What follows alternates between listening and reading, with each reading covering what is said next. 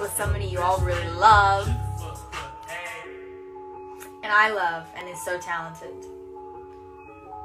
Been a fan of his for a really long time.